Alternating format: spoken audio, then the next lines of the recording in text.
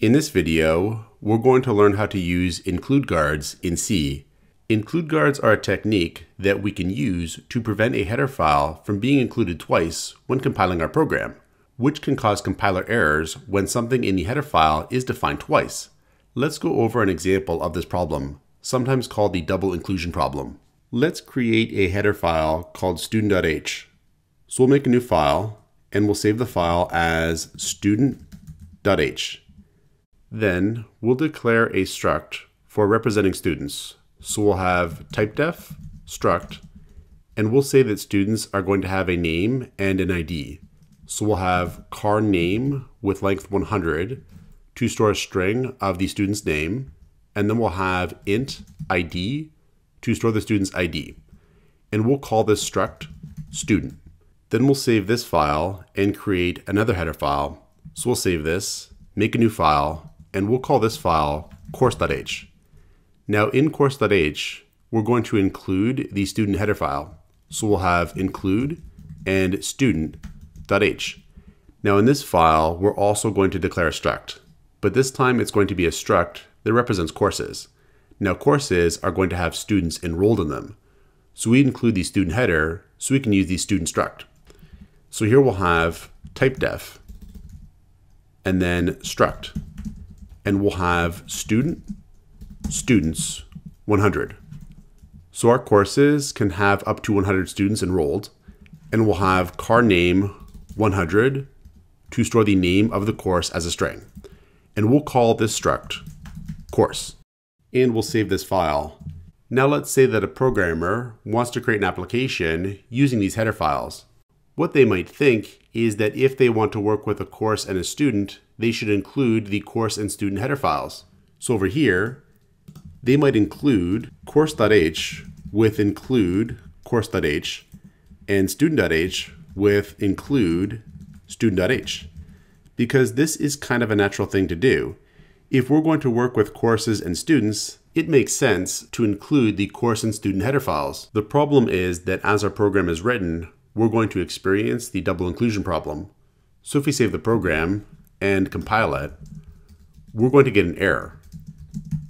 It says here, one error generated. And up here, it says error, typedef redefinition with different types. And it says student.h included multiple times. And it even suggests a way to fix it too. So why is this problem happening? It's occurring because of what happens when we include a header file. So when we include a header file, we can kind of think of it as copying and pasting the text from that header file into the other file. So for example, with course.h here, when we include student.h, it's like this code gets copied and pasted right here. Then in d.c, when we include course.h and student.h, it's like these contents get copied and pasted here. And in the case of student.h, it's as if this gets copied and pasted here. Now the problem is we have two definitions of student. We have student defined here as part of the student.h file, and we have student defined here as part of the course.h file. That's why we're getting this error. Now to fix it, we can use what are called include guards. Include guards are going to make sure that a header file is only included once. Let's undo these changes here and then resave our file. Then we'll also undo the changes inside of course.h. So inside of course.h, we'll also undo this and save our file. Then we'll add an include guard. So at the top of the file, we're going to use the if not defined preprocessor directive. So here we'll have number sign if not defined, and we'll have course underscore h. Then at the bottom of the file, we'll have number sign endif.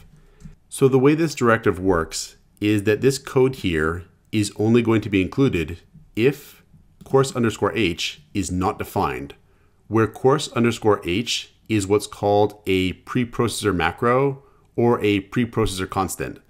And what we can do is define course underscore h in this code here. So we could have here number sign define and then course underscore H. And we don't actually need to set it to anything. Now what's going to happen is that the first time the course.h header file is included somewhere, the course underscore h macro is not going to be defined. Because it's not defined, this code here is going to be included. Now in that process, course underscore h is going to be defined. That means in the future, if course.h is included again, now this code is not going to be included again. And that's because the if not defined directive is going to prevent that because course underscore h is now defined. We could do the same thing in student.h. So we'll save this. And then in student.h, we'll have number sign, if not defined, student underscore h, and we'll have number sign defined, student underscore h, and then end if down here. And this is going to have the same effect as in our course.h header file. So we'll save this. And then if we go back here where we include course.h and student.h, we now have include guards. In particular, the include guard inside the student.h file is going to prevent the contents of that file from being included twice because the student.h file is going to be included when course.h is included. At that point, the student underscore h macro is going to be defined. Then, when we try to include student.h again here, that macro is going to exist. And because it does, the contents of the file are not going to be included again. We can save our program and test it out. So we'll save this and try to compile it again. And this time it works. We don't get any errors. And so the include guards are working. Now the only thing with include guards is this choice of the macro name is basically ours to decide. We followed a convention of naming the macro, the file name, and then underscore h. So we have student underscore h and course underscore h. Now, if by chance somewhere else in our code a macro called course underscore h was defined, this could break. So we really need to be careful that the macro names we use are unique and only used for this purpose. Now there is another way of guarding include files. In C, there's a preprocessor directive called pragma. And the pragma directive allows us to give additional information to the compiler. Not all pragma directives are supported by all compilers, but a very widely supported pragma directive is the pragma once directive. It looks like this, pragma and then once. And we can get rid of this endif down here too. We'll do the same thing in student.h. So we'll save this. And then in student.h, we'll have pragma and then once. So pragma once is a widely supported directive. It's basically universal, even though it's not officially part of the C standard. And it's going to have the exact same effect as our include guards, it's going to ensure the contents of these header files are included only once. So we can save our program and try to compile it, and we don't get an error. And that's because using Pragma once had the same effect as our include guards. Now the advantage to using Pragma once is that we don't need to manage the names of macros. It's just simpler.